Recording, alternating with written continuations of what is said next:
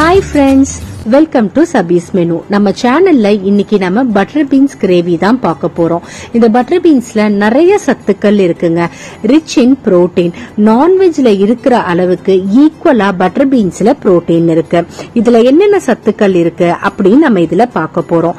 நம்ம சேனல்ல mister Kannadasan brother வந்து நான் வெஜிடேரியனுக்கு ஈக்குவலான டேஸ்ட்ல ஒரு வெஜிடேரியன் ரெசிபி கேட்டிருந்தாங்க.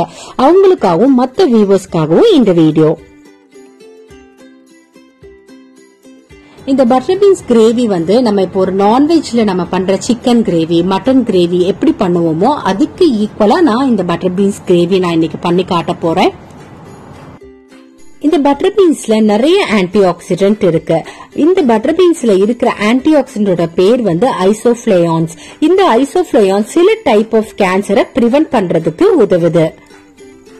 இந்த பட்டர் பீன்ஸை எப்படி ஒரு நான் வெஜிடேரியன் ரெசிபிக்கு ஈக்குவலா பண்றது அப்படின்னு பாக்குறதுக்கு வாங்க நம்ம சபீஸ் மெனு சேனலுக்கு இந்த பட்டர் பீன்ஸ் மார்க்கெட்ல பீன்ஸாவும் விக்கிறாங்க உரிச்சும் விக்கிறாங்க. இது உரிச்சது நல்லா ஃப்ரெஷ்ஷா இருந்தது. சோ அதனால நான் நூறு கிராம் பட்டர் பீன்ஸ் வாங்கிக்கிட்டேன். இது ஒரு தடவை நீங்க தண்ணியில வாஷ் பண்ணி எடுத்துக்கோங்க.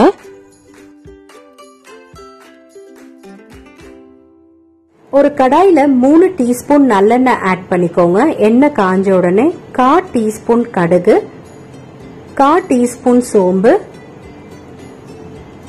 ஒரு பெரிய வெங்காயத்தை நம்ம கட் பண்ணி ஆட் பண்ணிக்கலாம்.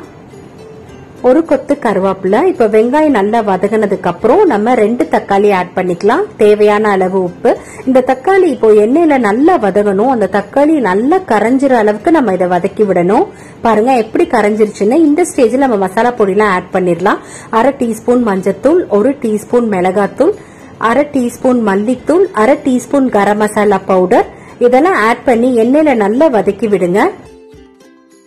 இந்த மசாலா நல்லா எண்ணெயில வதக்குனதுக்கு அப்புறம் நம்ம இந்த மசாலா ஸ்மெல் போறதுக்காக அரை கப் தண்ணி ஊத்தி நம்ம இதை நல்லா கொதிக்க விடலாம். இந்த மசாலா ஸ்மெல் போனதுக்கு அப்புறம் தான் நம்ம இந்த பட்டர் பீன்ஸ் ஆட் பண்ணணும்.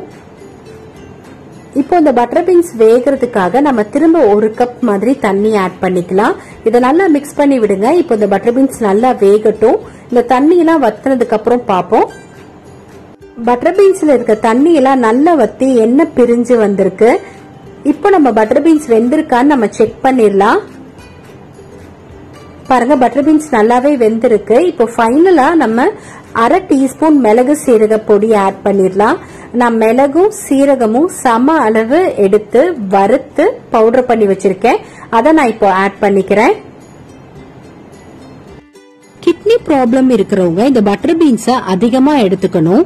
இந்த butter பீன்ஸ்ல vitamin B and folic acid அதிகமா இருக்கிறனால பிரெக்னன்ட் லேடிஸ்க்கு இது ரொம்ப ரொம்ப முக்கியமான ஒண்ணு. இந்த butter பீன்ஸ்ல calcium magnesium copper selenium zinc எல்லாம் இருக்கிறனால எலும்பு தேய்மானம் ஆகிறத இது வந்து குறைக்கும்.